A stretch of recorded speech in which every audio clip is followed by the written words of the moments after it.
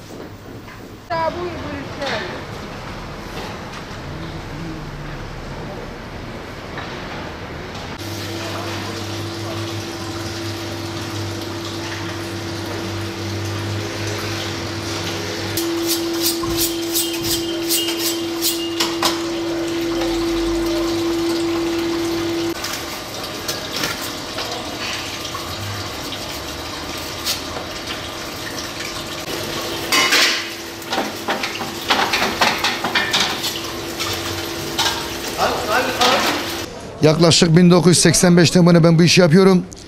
Ee, son yıllarda demeyeyim de son bir yıldır bu virüs belası gerçekten Şanlıurfa halkına Türkiye genelinde herkese bulaştı.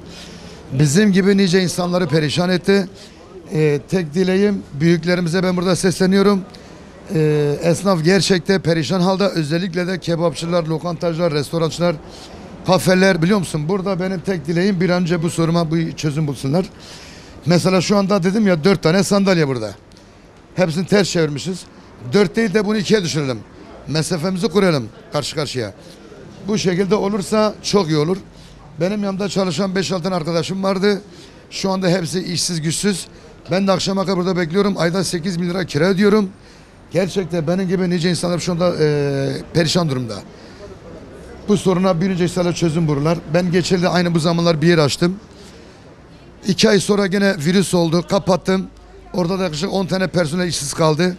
Bugün 10 personel demek kişi her bir e, evde yaklaşık 5'er tane külfeti vardır. 50 kişi demektir. Yani bunu tabii ki benden daha iyi biliyorlar ama söylememiz de gene burada se- seslememiz de çok oldu. E, sizlere de teşekkür ederim. E, duyarlı kaldınız bu konularda gerçekten. Benim gibi nice insanlara gidin röportaj yapın. Hakikaten esnaf şu anda zor durumda.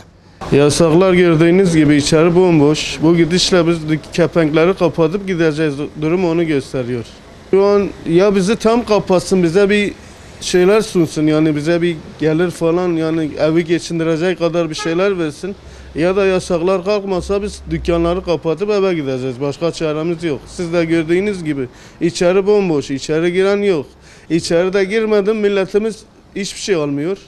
Alışmış oturup yemeye. Oturup yemedim ayakta da kimse alıp yemek yemez. Yemek de almayınca bizim işlerimiz de gördüğünüz gibi durgun yani. Bu gidişle kepenk kapatıp gideceğiz evimize. Çoluk çocuk açlıktan artık ne olacaksa. Son olarak kiras, dükkan sahibi kirasından vazgeçmiyor. Biz de böyle olunca ya dükkanı kapatacağız ya da başka yapacak bir şeyimiz yok yani. Devletten beklentimiz bir an önce bu işe bir çare bulsun. Pandemi diyorlar, pandeminin önlemini aldık diyorlar. Hala dışarıda çoluk çocuk geziyor, maskesiz geziyorlar. Nasıl önlem almışlar bana bir söylesinler. Kimi durdurmuşlar, ceza yazmışlar, kime gerekeni yapmışlar. Pandemide yardım edeceğiz diyorlar. Üç ay evde yattık, kimse bize yardım etmedi. Hiçbir şey yapmadılar. Nasıl yardım ediyorlar yani? Devlet yardım, devlet yanınızda diyorlar ama hiçbir şey görmedik bugüne kadar. Başka da söyleyecek bir şeyim yok. Bu yasaklar esnafı epeyce yıprattı yani. Kira ödeme konusunda sıkıntı yaşayık. Bundan sonra müşteri konusunda bayağı sıkıntı yaşayık yani. Esnaf bayağı zor durumda. Yani bu bitmesi için yani e, cumartesi pazar günleri yasak getirilse daha iyi yani. Benim düşüncem. Devlet yetkilileri esnafa destek olmalarını isteyik yani. Esnaf hakikaten zor durumda yani. Yani şu anda kirayı ödeyemeyecek durumdayız. Hayat şartları gayet pahalıdır şu anda. Hayat şartları her şeye zam geldi. Mesela bir yağ ürünü olsun, bir e, et ürünü olsun, yani ekmek olsun bunlar hepsi pahalı geldi o Şanlıurfa'da. Ama gel gelelim hayat şartları zordur. Zor olduğu için de e, ister istemez bizi zor duruma bırakıyor yani. Şartlar, şartlar satışlarımızı yüzde otuz düştü, yüzde otuza düştü mesela. Yüzde yetmiş gitti, yüzde otuzu düşürdü. Yüzde otuza bize e, lokantanın ekonomiyle yeterli gelmiyor. Yani buna gayet düşüktür. Ama kendi çapımızda evde oturmamak amacıyla çalışıyoruz. Bu konuda bence yani en az gurbetçi insanlar var. Mesela adama diyorum ki paket al götür. Adam diyor ya ben gidip nerede yiyeceğim? Yani ben sokakta mı yiyeyim? Sokakta mağ- olmaz, uygun değil. Bu konuda sandalye imkanları verebilirdi mesela. Mesela tek kişi masada oturabilirdi.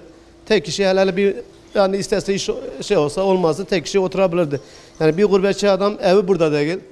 Adam gurbetçidir yani iş çalışmaya gelmiş veya iş, işini görmeye gelmiş veya bir alışverişe gelmiş. Adam ne yapsın?